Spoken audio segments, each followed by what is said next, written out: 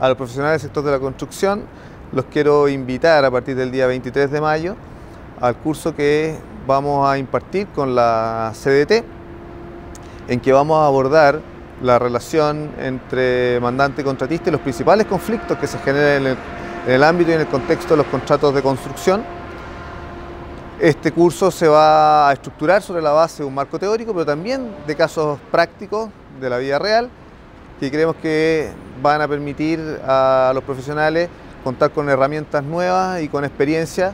eh, relevante en este tipo de, conflictividad. Así que lo esperamos a todos a partir del 23 de mayo.